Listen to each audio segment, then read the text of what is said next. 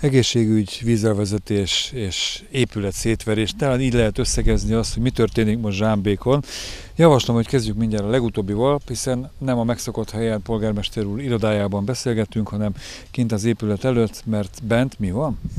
Hát bent éppen egy energetikai korszerűsítés zajlik, aminek első lépéseként elkezdték szétverni az épület bizonyos részeit. Tehát az irodámban most éppen a, a szoba közepén van az összes bútor lefóliázva, nyílászáró csere, ajzatszigetelés és egyebek történnek, tehát ezért van ez a nagy felhajtás. Most ebben a pillanatban gyakorlatilag eljutottunk oda, hogy a, a hivatal praktikusan nem használható. Eddig sem voltak túl jó körülmények, így az elmúlt két hétben a választások után kezdődtek el el a munkálatok, tehát eddig sem voltak fényesek a körülmények, de most gyakorlatilag így megállt a munka, ez most egy-két napig így lesz, aztán valamekkora rendet tudunk tenni, hogy újra érdemben tudjuk folytatni a munkát, tehát a kollégek is bent tudjanak tartózkodni a saját irodáikban jelentős megtakarítást tudunk elérni egy ilyen felújítással. Egyébként ugye saját erőből ezt nem biztos, hogy meg tudtuk volna finanszírozni, ugye az a szerencsés állapot van itt, hogy top pluszos pályázatot nyertünk, ami 100%-ban finanszírozott, sőt ráadásul ez még, még annál is pozitívabb történet, mert ezeknél a pályázatoknak úgy van meghatározva, hogy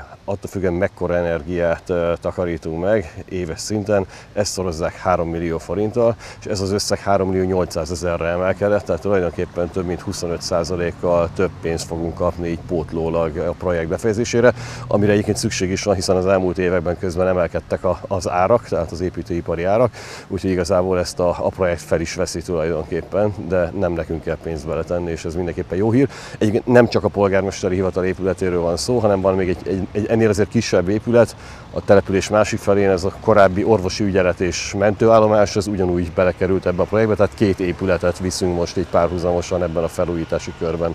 Ez nem azonos az egészségház bővítésével, mert ez egy harmadik, de szintén kapcsolódik az egészségügyhöz, akkor így át is kötöttünk erre a témára.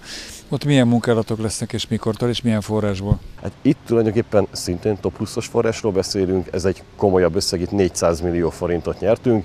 Itt egy kétszintes, körülbelül 400 négyzetméter alapterületű új épületrész fog kialakulni, ami fizikailag kapcsolódik a meglévő, már teljes egészében felújított egészségházunkhoz, például annak a liftjét fogja használni. Ami miért erre szükség van, az kettő ok, a védőnőink, akik ugye közben már nem önkormányzati felhatóság alá tartoznak, hanem állami irányítás alá kerültek, de mégiscsak itt dolgoznak zsámbékan, és hát mégiscsak a mi gyerekeinkkel foglalkoznak, tehát a szívünkön viseljük a sorsukat, ők fognak átköltözni az épület aljába, ez deklaráltan az ő helyük lesz, tehát ott egy ilyen nagyon modern, nagyon trendi és mindenféle 21. századi kívánalomnak megfelelő épületrész alakul ki.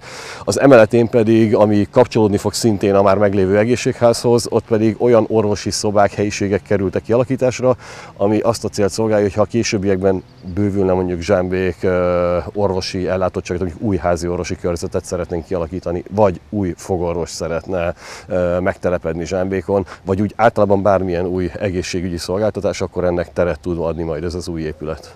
Ez az építkezés, ezek a munkálatok befolyásolják a mindennapi betegellátást? Nem, ezek egy teljesen, fizikailag teljesen elkülönülő épület, úgyhogy ezt jól el tudják választani, tehát ott nem fog gondot okozni, nem úgy, mint itt nálunk a hivatalban. És ha valaki a Bicskei utcában lakik, akkor az építkezésről egy másik építkezésre jön, hogyha itt önöknél van valami dolga.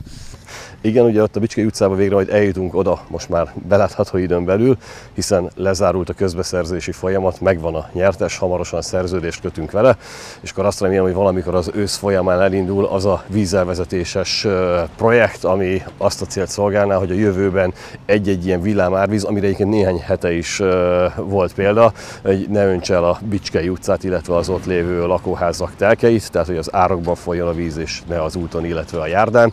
Úgyhogy jó irányba haladunk, tehát ugye ott majd lesz egy komoly 500 köbméteres záportározó, Ugye beszéltük arról korábban, hogy ilyen trendi gátakat fogunk építeni, ami szintén most ilyen új és modern megoldás, tehát ezekkel fogjuk késleltetni a, a víz leözönlését, és akkor ezzel ott meg fogjuk tudni oldani az ott élőket.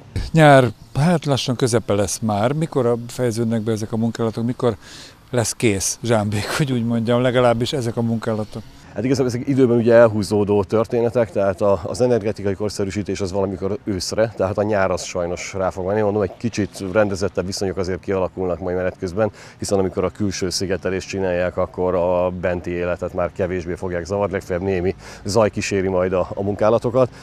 Ugye a Bicskei utcai vízelvezetés az valamikor a nyár második felében, illetve össze fog tudni elindulni leghamarabb, tehát ez, ez még egy kicsit múlik a kivitelezőn is, tehát a pontos részleteket még, még nem beszéltük át. Ott várhatóan 6 hónap terjedelmű lesz a munkavégzés, tehát 6 hónap alatt el fogják tudni végezni ezt a munkát, tehát én azt remélem, hogy jövő tavaszra lesz teljesen kész, és ugye hát a, a másik az, az egészségház építése, ott, ott azért én ugye egy, legalább egy éves folyamattal számolok, tehát hogy azt majd körülbelül innen számolva másfél év múlva lesz az a pillanat, amikor így azt mondhatjuk, hogy átadjuk ezt az épületet, illetve a lakosság is használatba veheti majd.